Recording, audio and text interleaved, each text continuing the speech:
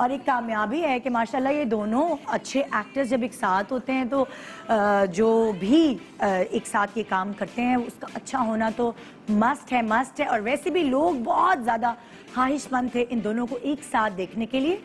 दो जब अच्छे एक्टर्स मिलते हैं और अच्छी प्रोडक्शन हाउस और अच्छा डायरेक्टर मिलता है तो फिर तो ज़बरदस्त चीज़ आपके सामने आती है। आइए जी, मैं आप जिस गेस्ट को बुला रही हूँ, जिस एक्टर को बुला रही हूँ, उसने भी बहुत छोटी सी उम्र में बड़ा नाम कमा लिया और उसकी क्या वजूहत है, ये हम आपको दिखाते हैं उस पैकेज में। पाकिस्तान मीडिया इंडस्ट्री में बेस्ट इमर्जिंग टैलेंट की हैसियत से सामने आने वाले अदाकार किसी तारुफ के मोहताज नहीं। अपने पाँच साल के कैरियर में आप चार मुख्तलिफ़ अवार्ड्स जीत चुके हैं और हर सुपरहिट ड्रामा में अदाकारी करते नज़र आते हैं।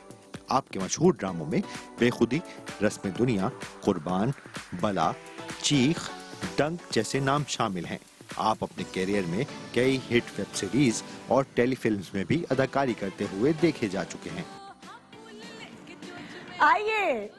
हम मिलाते हैं आपको आपके फेवरेट एक्टर बिलाल अब्बास से।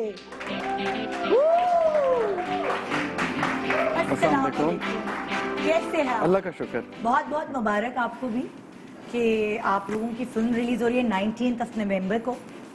और अभी से टिकट्स लोग बुक कराना शुरू कर दें बुकिंग ओपन हो गई बिल्कुल हो गई है। है ना?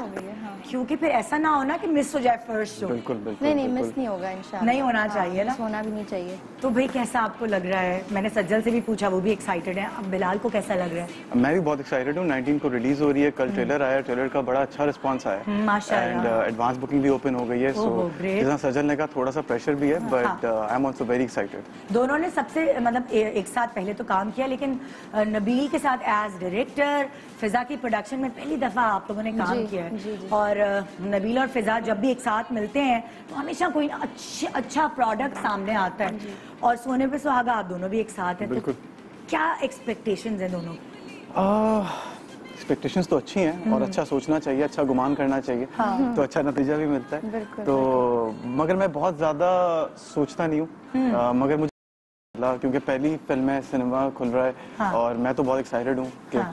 सिनेमा खुल रहा है तो आई रियली वांट कि लोग जाएँ सिनेमा मूवीज़ हाँ। देखें एंड पाकिस्तानी मूवीज़ को पाकिस्तानी सिनेमा को सपोर्ट करें Subscribe and press the bell icon to watch the latest dramas.